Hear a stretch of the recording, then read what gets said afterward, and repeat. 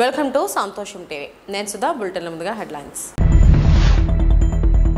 ప్రతిపక్ష నేత చంద్రబాబు రాజకీయాలను భ్రష్టు పట్టించాడని గురజాల వైఎస్ఆర్సీపీ ఎమ్మెల్యే కాసు మహేష్ రెడ్డి మండిపాటు జగన్ రెడ్డి నాలుగేళ్ళ పాలనలో కడప జిల్లాకు చేసిందేంటి? TDP MLC Bhumireddy Ram Gopal Reddy media సమావేశం. సర్దుబాటు పేరుతో వినియోగదారులకు ప్రభుత్వం కుచ్చుటోపి. బీసెట్టి బాబ్జీ. ప్రతిపక్ష నేత చంద్రబాబు రాజకీయాలను భ్రష్టు పట్టించాడని గురజాల వైఎస్ఆర్సీపీ ఎమ్మెల్యే కాసు మహేష్ రెడ్డి మండిపడ్డారు. వచ్చే ఎన్నికల్లో వైఎస్ఆర్సీపీ క్లీన్ స్వీప్ చేస్తుందనే బాబుకు ఈ భయమంతా అన్నారు. ఎరపతినేని ఒక నీతి జాతి లేని నాయకుడు మాట్లాడినట్టు చిల్లరగా మాట్లాడుతున్నారని మండిపడ్డారు. పేస్ ఎరపతినేనిది బ్యాక్గ్రౌండ్ చంద్రబాబుది. ఈ గుంటనక్క రాజకీయాలు ఎన్ని రోజులు సాగవని హెచ్చరించారు. మంత్రివర్యులను లేదా అమెరికాలో ఉంటున్న ఎవరో ఇద్దరు ముగ్గురు అమ్మాయిలకి డబ్బులు ఇవ్వటం వాళ్ళ చేత మాట్లాడించటం పోస్టులు పెట్టియటం ఎన్ని రోజులు ఈ రాజకీయాలు? ఎందుకు ఇంత భయపడిపోతున్నాడు? సరే సర్వేలు వచ్చినాయి. టైమ్స్ నవో ఇండియా టుడే సర్వేలు మళ్ళీ జగన్మోహన్ రెడ్డి గారికి ఆంధ్ర రాష్ట్ర ప్రజలు పట్టం కడతబోతున్నారు. కొన్ని ఇరవై రెండు నుంచి ఇరవై మూడు సీట్లు రాబోతున్నాయి పార్లమెంట్లో. లేదు మొన్న వచ్చిన టైమ్స్ నో దాదాపు ఇరవై నాలుగు సీట్లు క్లీన్ స్వీప్ చేయబోతుంది వైఎస్ఆర్సీపీ ప్రభుత్వం అని చెప్తుంటే మరి ఈయన భయపడిపోయి చిల్లర రాజకీయాలు చేస్తూ ఆయన చేసిన తప్పులన్నీ ఈ రోజున జగన్మోహన్ రెడ్డి గారికి ఆపాదిస్తూ ఏది పడితే అది. ఒకడు లిక్కర్ అంటాడు ఒకడు సిమెంట్ అంటాడు ఇంకోడు ఇంకోటి అంటాడు. అసలు లిక్కర్ అర్హత తెలుగుదేశం నాయకులకుందా? చంద్రబాబు నాయుడు గారు ఉమ్మడి ఆంధ్ర రాష్ట్రంలోనే ప్రజలు ముద్దుగా పిలుచుకునేవాళ్ళు. మద్యపాల నిషేధం పెడితే ఆంధ్ర రాష్ట్రం ఉమ్మడి ఆంధ్ర రాష్ట్రంలో మద్యపాల నిషేధం తీసేసింది ఎవరు? చంద్రబాబు నాయుడు గారు కదా. ఇంటింటికి లిక్కరు. ఈ దేశంలోనే ఈ భారతదేశంలో మొట్టమొదటిసారి బెల్ట్ షాపులు పెట్టి వాళ్ళకి టార్గెట్లు పెట్టి వైన్ షాపులకు టార్గెట్లు ఇచ్చి ప్రతి గ్రామంలో మరి యువకులకి అందరికీ అలవాటు చేసింది ఈ మద్యపా మద్య ఈ తెలుగుదేశం అప్పటి తెలుగుదేశం ప్రభుత్వాలు కాదా? వీళ్ళు ఈరోజు నీతులు చెప్తున్నారు. మాట్లాడితే లిక్కర్లో జే ట్యాక్స్ అంటారు. ఏంటి జే ట్యాక్స్ లిక్కర్ ఏంటి? ఎవరు రెండు వందల యాభై సుమారు బ్రాండ్లు రెండు వేల పద్నాలుగు నుంచి పంతొమ్మిది మధ్యలో తెచ్చింది? డిస్టిలరీలు ఏ డిస్టిలరీలు? ఈరోజు ఆ డిస్టిలరీలే కదా వ్యాపారం చేస్తుంది. ఎవరివి డిస్లరీలు? ఆదికేశవ నాయుడు గారు తెలుగుదేశం పార్టీ కాదా? నిన్నటి వరకు అయ్యన పాత్రుడు గారు చెప్పారు మొన్న ఎప్పుడు అమ్మేసుకున్నా అంట డిస్లరీ. మరి ఆయన ఎవడు? తెలుగుదేశం నాయకుడు కాదా? యనమల రామకృష్ణ గారి వియ్యంకుడు తెలుగుదేశం కాదా? చివరికి ఎస్పీవై రెడ్డి గారు వైఎస్ఆర్సీపీ పార్టీలో ఎంపీగా గెలిస్తే రెండు వేల పద్నాలుగో సంవత్సరం ఇంకా ప్రమాణ స్వీకారం కూడా చేయాల పార్లమెంట్లో సరిగ్గా. మరి ఆయన్ని లాగేసుకొని ఆయన చేత డిస్టిలరీ పెట్టించింది ఈ చంద్రబాబు నాయుడు గారు కాదా? ఈరోజు ఆ బ్రాండ్లు కదా. మరి జగన్మోహన్ రెడ్డి గారికి ఏం సంబంధం? ఆ బ్రాండ్లన్నీ ఈ రోజున వాళ్ళు చెప్పే ఆ బూమ్ బూమ్ బ్రాండ్లో లేదు ఇంకో మెడల్ డిస్టిలరీ నుంచి వస్తున్నాయి కదా. ఎవరు? ఆ రోజు లంచాలు తీసుకొని వీటికి పర్మిషన్స్ ఇచ్చింది ఎవరు? ఆనాటి తెలుగుదేశం ప్రభుత్వం కాదా? చేసిన తప్పంతా మీరు చేసి చెప్పేది శ్రీరంగ నీతులు దూరే దుమ్మ గుడుసులు అన్నట్టు చేసే చెత్త అంతా మీరు చేసి ఈరోజు ఆ ఆ బురదంతా మాకు పుయ్యాలి మా ప్రభుత్వానికి పుయ్యాలి మా ముఖ్యమంత్రి గారికి ఆపాదించాలంటే ఆంధ్ర రాష్ట్ర ప్రజలు ఏమన్నా తెలివిలేని వాళ్ళ లేదు నిజాలు తెలుసుకోలేని వాళ్ళ? ప్రతిదానికి. ఇంకోటి అంటాడు సిమెంటు బ్యాగ్ కంట మన ప్రభుత్వానికి లేదు మా నాయకులకి లంచాలు ఇస్తాయి ఎందుకు ఇస్తారు? సిమెంటు కర్మాగారాలు అనేక ఉన్నాయి. లేదు ధరలు పెరిగినాయి అంటున్నారు. గతంలో పెరగలేదా? రెండు వేల పద్నాలుగు నుంచి పంతొమ్మిది మధ్య దాదాపు పది పదిహేను శాతం ధరలు పెరిగినాయి. ఈ రోజున ఇంటర్నేషనల్ మార్కెట్ జగన్మోహన్ రెడ్డి నాలుగేళ్ళ పాలనలో కడప జిల్లాలకు చేసిందేమిటి? TDP MLC Bhumireddy Ram Gopal Reddy media సమావేశం. ఎన్టీఆర్ భవన్ అమరావతి నుండి ప్రత్యక్ష ప్రసారం. అందరికీ నమస్కారం. ఆంధ్రప్రదేశ్ రాష్ట్ర ముఖ్యమంత్రి జగన్మోహన్ రెడ్డి గారు తన తండ్రి రాజశేఖర రెడ్డి గారి జయంతి సందర్భంగా రేపు ఎల్లుండి పులివెందుల నియోజకవర్గంలో పర్యటించడం జరుగుతోంది.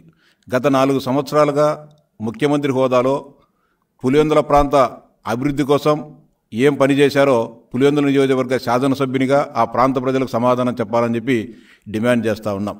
ముఖ్యంగా ముఖ్యమంత్రి అయిన వెంటనే పులివెందుల నియోజకవర్గంలో రహదారుల అభివృద్ధి కోసం దాదాపు ఐదు వందల కోట్ల రూపాయలు మంజూరు చేయడం జరిగింది. అంతేకాకుండా ప్రధానమంత్రి గ్రామీణ సడక్ యోజన కింద రెండు వందల పద్నాలుగు కిలోమీటర్ల రోడ్ల పనులను కేంద్ర ప్రభుత్వం పులివెందుల నియోజకవర్గానికి మంజూరు చేయడం జరిగింది. ఈ సందర్భంగా ముఖ్యమంత్రి గారికి ఈ రాష్ట్ర ప్రభుత్వ అధికార యంత్రాంగాన్ని సూటిగా అడుగుతా ఉన్నా. ముఖ్యమంత్రి నియోజకవర్గంలోనే మంజూరైన రోడ్లను వేయలేని దుస్థితిలో పంచాయతీరాజ్ విభాగం కానీ ఈ ప్రాంత శాసనసభ్యునిగా ఉన్న ఈ గౌరవ ముఖ్యమంత్రి గారు కానీ ఎందుకనో చొరవ తీసుకోలేదని చెప్పి ప్రశ్నిస్తా ఉన్నా. పీఎంజేఎస్వై కింద రెండు వందల పద్నాలుగు కిలోమీటర్లు రోడ్లు మంజూరైతే గత నాలుగు సంవత్సరాలుగా కనీసం పది శాతం తారు రోడ్డు కూడా వేయలేని దుస్థితిలో జగన్మోహన్ రెడ్డి గారు ఉన్నారంటే ఈ రాష్ట్ర ప్రభుత్వ ఈ రాష్ట్ర ప్రభుత్వ వైఖరి ఏ విధంగా ఉందో రాష్ట్ర ప్రజానీకం గుర్తించాలని చెప్పి విజ్ఞప్తి చేస్తాను. ఎక్స్టర్నల్ ఎయిడెడ్ ప్రాజెక్టు కింద దాదాపు ఐదు వందల కోట్ల రూపాయలతో పంచాయతీ రోడ్ల నిర్మాణానికి నిధులు మంజూరైతే కనీసం వాటిని కూడా పది శాతం రోడ్ల రహదారులను కూడా ఈ నాలుగు సంవత్సరాల్లో నిర్మించలేని దౌర్భాగ్యకరమైన నిస్సహాయ స్థితిలో ఈ రాష్ట్ర ముఖ్యమంత్రి ఉన్నారు. ఇటీవలనే వారు చేస్తున్న పనుల నిర్వాహకం ఏ విధంగా ఉందంటే ముఖ్యమంత్రి గారి సొంత నియోజకవర్గంలోనే రహదారుల దుస్థితి అధ్వానంగా ఉండడంతో ఆ ప్రాంతాలకు చెందిన రైతాంగం ఆ ప్రాంతాలకు చెందిన ప్రజలు తన సొంత నిధులతోనే చందాలు సేకరించి ట్రాక్టర్లతో మట్టి తోలుకున్న సంఘటన నిన్న మొన్న వెలుగులోకి రావడం జరిగింది. అంటే టెండర్లు పిలిచి కమిషన్లు దండుకొని వాటిని ఏమాత్రం కూడా పనులు పూర్తి చేయకోకుండా పులివెందుల ప్రాంత ప్రజల పట్ల ఎంత నిర్లక్ష్యంగా ఉన్నారో దీన్ని బట్టి చూస్తే అర్థమవుతుంది. ఇంకా ఎంత దారుణాది దారుణం అంటే కాంట్రాక్టర్లకు పనులు అప్పగించారు కానీ కాంట్రాక్టర్లతో పనులు చేయించలేని దుస్థితిలో ఈ రాష్ట్ర ప్రభుత్వం ఉంది గౌరవ ముఖ్యమంత్రిగా ఉన్నారు. ఎంత దారుణమైన పరిస్థితి ఉంటే పులివెందుల నియోజకవర్గంలో మంజూరైన పనులను చేయలేని దుస్థితిలో కాంట్రాక్టర్లు ఉన్నారు. ఏ కాంట్రాక్టర్ కూడా ఈ రాష్ట్ర ప్రభుత్వం మీద నమ్మకం లేక పనులు చేసినా కూడా బిల్లులు ఇస్తారో ఇవ్వలేనని చెప్పి ఒక భయాందోళనతో పులివెందుల నియోజకవర్గంలో రోడ్లు కూడా చేయలేని దుస్థితి పులివెందుల ప్రాంతంలో ఉంది. దీనికి నిదర్శనంగా ఇటీవలనే పంచాయతీరాజ్ శాఖ ఇంజనీర్లు సంబంధిత నిర్మాణ సంస్థలకు పెనాల్టీ కూడా వేయడం జరిగింది. అంటే గత మూడు సంవత్సరాలుగా పనులు అప్పచెపితే వాటిని పనులు చేయనందుకు ఒక కాంట్రాక్టర్కు పది లక్షల రూపాయలు పెనాల్టీ వేయడం జరిగింది.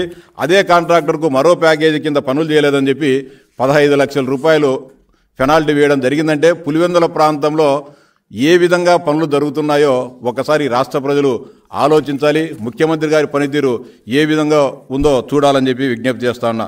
అంతేకాకుండా దాదాపు మూడు సంవత్సరాల క్రితం మంజూరైన పన్నెండు వందల కోట్ల రూపాయలతో మంజూరైన మైక్రో ఇరిగేషన్ ప్రాజెక్టు పనులు కూడా కనీసం పది శాతం పనులు కూడా ఈరోజు కూడా పూర్తి కాలేదు.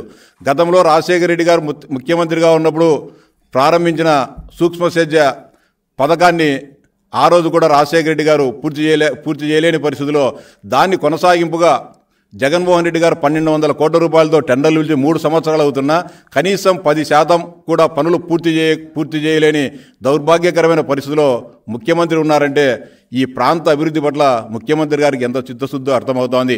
ఇంకో సూటిగా ప్రశ్నిస్తాను ముఖ్యమంత్రి గారిని రెండు వేల పంతొమ్మిదిలో ఏదైతే పులివెందుల ప్రాంత ఆయకట్టు ఎంత ఉందో ఈ నాలుగు సంవత్సరాల్లో ఒక్క ఎకరాకైనా సరే ఈ ముఖ్యమంత్రి గారు ఒక్క ఎకరాకు అదనంగా ఆయకట్టుకు అభివృద్ధి చేశారా? ఒక ఎకరాకైనా అదనంగా నీరిచ్చారా? సర్దుబాటు పేరుతో వినియోగదారులకు ప్రభుత్వం కుచ్చిటోపి బీసెట్టి బాబ్జీ వ్యాఖ్య.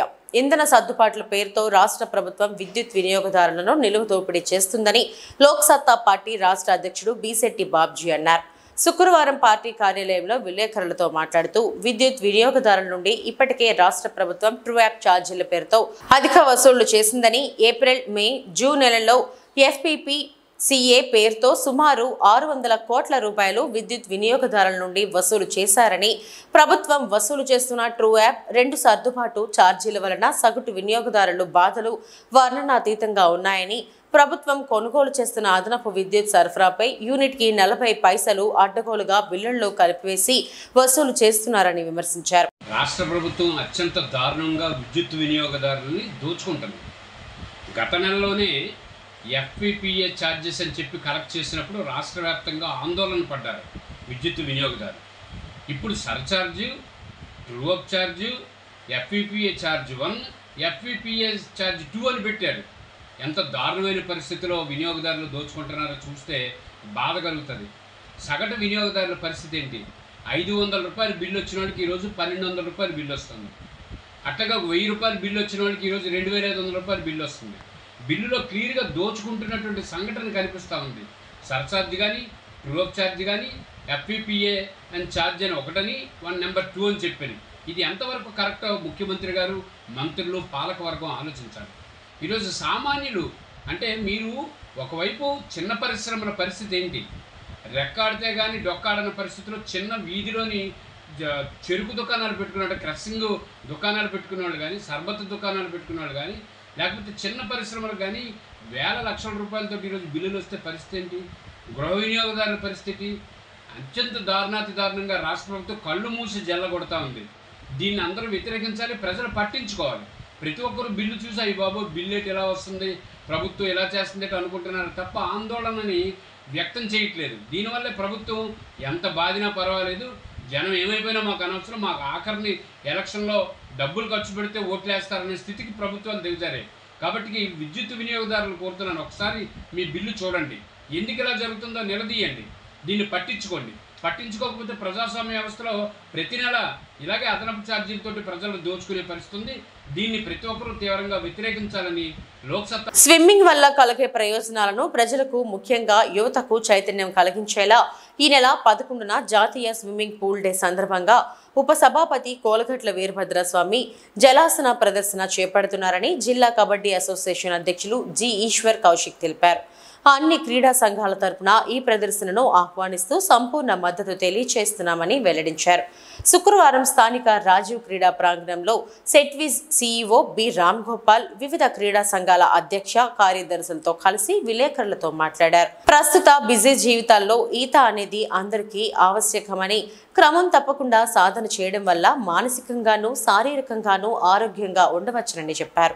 అందులో భాగంగానే శాసనసభ ఉపసభాపతి స్థానిక శాసనసభ్యులు Kolagatla Veerabhadraswamy aqua swimming pool ఆధునీకరణతో పాటు కేవలం మహిళల కోసం ప్రత్యేకంగా మహిళా పార్క్ వద్ద స్విమ్మింగ్ పూల్ను ఏర్పాటు చేశారని గుర్తు చేశారు.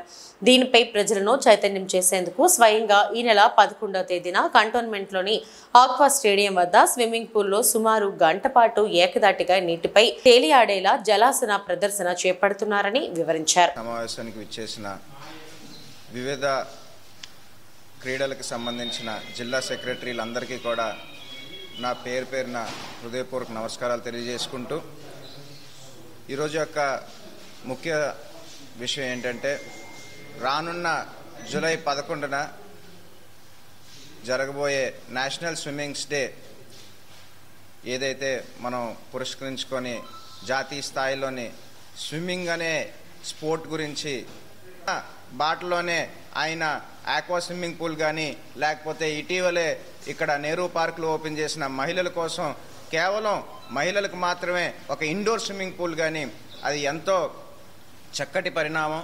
అలాంటి యొక్క స్విమ్మింగ్ని ఆయన ఇంకొంత ముందుకు తీసుకెళ్ళి ఈ విజయనగరం ప్రజలందరికీ కూడా అవగాహన కల్పించాలని చెప్పేసిన ఒక ఆలోచనతో సుమారు గంట సేపు పాటు ఆయన నీటిలోని ఆయన యోగా ఆసనాలు వేస్తూ ఆయన ఒక పొజిషన్లోనే కదలకుండా ఒక గంట సేపు పాటు ఉండడానికి నిర్ణయించుకున్నారు. దానికి సంబంధించి ఆల్రెడీ ఇప్పటికే విజయనగరంలోనే అనేక మంది ప్రజలందరికీ కూడా దాని గురించి తెలుసున్నది. అలాంటి యొక్క వయసులోని ఆయన చేస్తున్నారు అని చెప్పేసి అంటే చెప్పేసిన ప్రతి ఒక్కరిలోని కూడా ఒక భావన రావాలని ఒక ఆలోచనతోటి ఆయన యొక్క కార్యక్రమం చేస్తున్నారు. సో జిల్లా అనేక క్రీడల అసోసియేషన్ నుంచి మీ అందరం కూడా ఆయనకి ప్రత్యేకమైన ధన్యవాదాలు తెలియజేస్తూ ఇలాంటి ఒక క్రీడని ప్రోత్సహిస్తున్నందుకు మా అందరికీ కూడా ఎంతో సంతోషంగా ఉన్నది.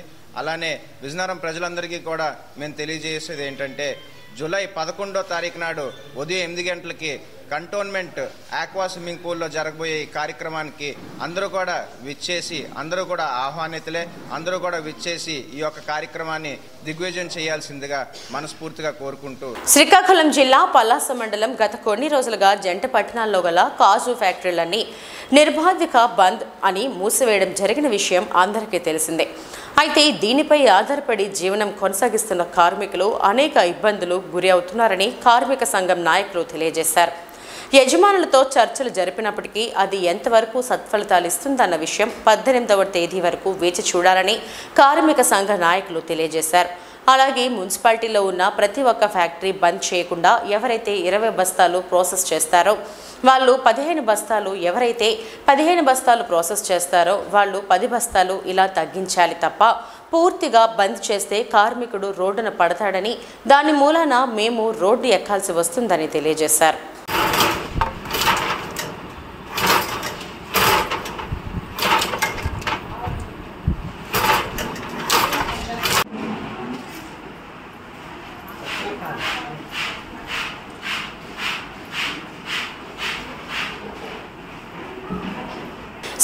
శ్రీకాకుళం జిల్లా పరిషత్ కార్యాలయంలో రెడ్ క్రాస్ సంస్థ అవార్డులు అందజేసే కార్యక్రమం ఏర్పాటు చేశారు.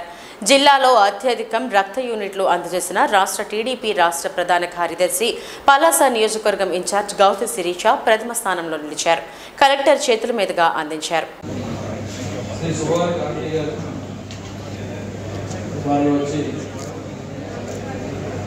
అవార్డ్స్ ఇది వర్క్ ఇంకా అవసరం ఉంది. సో డిస్ట్రిక్ట్ సిఎస్ఆర్ ఫండ్స్ నుంచి ఈ ఫస్ట్ సిక్స్ మంత్స్కి ప్రతి సిక్స్ మంత్స్కి ఇది యాడ్ చేయాల్సిన ఉంటుంది. ఫస్ట్ సిక్స్ మంత్స్కి ఏదైతే సాచురేషన్ చేయడానికి సిక్స్టీన్ ల్యాక్స్ అవసరం ఉంది అది డిస్ట్రిక్ట్ సిఎస్ఆర్ ఫండ్స్ నుంచి మీకు ఇస్తున్నామని ఈ సభాముఖంగా కూడా this is July month initiate అయింది వర్షాకాలం మొదలైంది. సో ప్రీ ప్లాంటేషన్ మీద రాష్ట్ర వ్యాప్తంగా అణగారిన వర్గాల ప్రజానీక ముఖాల్లో చిరునవ్వులు చూడటమే రాష్ట్ర ముఖ్యమంత్రి వైఎస్ జగన్మోహన్ రెడ్డి ఆశయమని ఆంధ్రప్రదేశ్ శాసనసభాపతి తమ్మినేని సీతారాం అన్నారు. గురువారం పొంతూరు మండలం పాపరాజుపేట మల్లేష్పేట మరియు తానేం గ్రామాలలో గడప గడపకు మన ప్రభుత్వం కార్యక్రమంలో పాల్గొన్నారు. తానేం గ్రామంలో సుమారు యాభై మూడు లక్షల నిధులతో జలజీవన్ మిషన్ ద్వారా ఇంటింటికి మంచినీటి పథకం కార్యక్రమాన్ని శంకుస్థాపన చేశారు. ఈ సందర్భంగా ఆయన మాట్లాడుతూ రాష్ట్రంలో అర్హత ఉన్న ప్రతి పేదవాడికి తప్పనిసరిగా పెన్షన్ వచ్చేలా పనిచేస్తున్న ఘనత వైసీపీ సర్కార్కి దక్కుతుందన్నారు.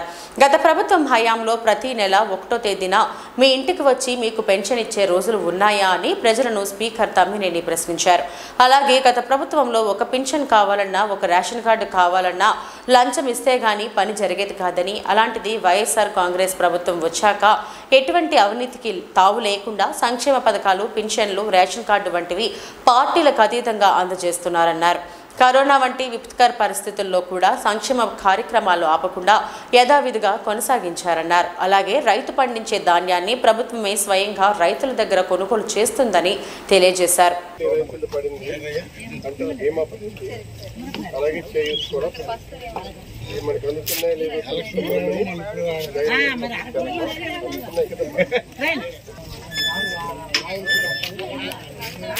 వేస్తా సున్నా వడ్డీ రైతు అలాగే మనకి? హౌసింగ్ హౌసింగ్ మీకు డెబ్బై వేలు పడుతుంది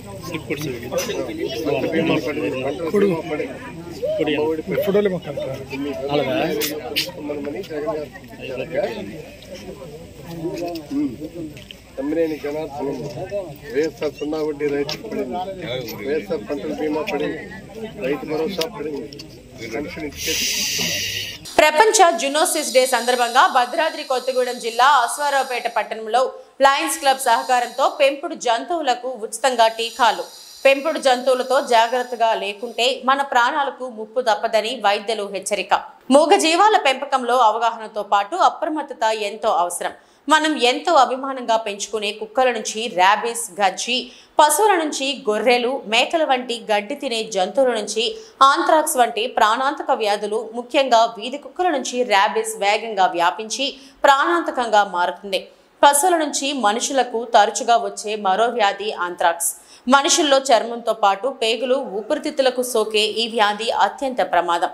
పశువులు గొర్రెలు మేకలు గాడిదలు గుర్రాల్లో ఆంత్రాక్స్ చాలా వేగంగా విస్తరిస్తుంది ఈ వ్యాధి లక్షణాలు కనిపించిన వెంటనే పశు వైద్యాధికారులను సంప్రదించి చికిత్స చేయించుకోవాలని సూచించారు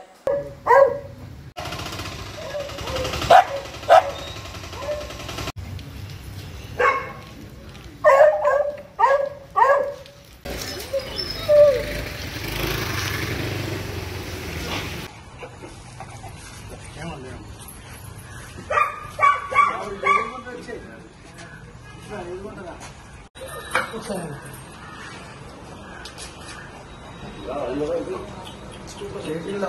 చేస్తూ వారి యొక్క ఆరోగ్య సంరక్షణ కోసం యజమానులకు తగిన సూచనలు చేస్తూ ఈ కార్యక్రమం నిర్వహిస్తూ ఉంటాం. ప్రతి సంవత్సరం కూడా లయన్స్ క్లబ్ వెటనరీ డిపార్ట్మెంట్ వారి యొక్క డాక్టర్ యొక్క ఆధ్వర్యంలో కార్యక్రమం నిర్వహిస్తూ ఉంటాం. మరి ఈ కార్యక్రమాన్ని ఈరోజు అశ్వరాపేట లయన్స్ తరఫు నుంచి అశ్వరాపేట కేంద్రంలో కూడా నిర్వహించడం జరుగుతూ ఉంది. దీనికి సంబంధించిన యొక్క వివిధ రకాల సూచనలు వారి అనేది పశువుల నుంచి మనుషులకి కీటకాలు ద్వారా వైరస్ బ్యాక్టీరియా మరియు ప్రోటోజోవా పారాసైటిక్ డిసీజ్ అన్నీ కూడా వివిధ రకాలైన వాహకాల ద్వారా పశువుల నుంచి మనుషులకి సంక్రమించడం జరుగుతుంది కాబట్టి వీటిని ప్రజలకి తెలియజేసి ముఖ్యంగా వీటిని అప్రమత్తంగా ఉంటారనే ఉద్దేశంతో ప్రతి సంవత్సరం మనం ఈ జూనియర్ మనం కండక్ట్ చేసుకోవడం జరుగుతుంది. దానిలో భాగంగా ఈరోజు మనం పశువత్సరాలు ఈరోజు ఈ వార్తలు ఇంతటితో సమాప్తం. మరిన్ని వార్తా విశేషాల కోసం చూస్తూనే ఉండండి. నమస్తే.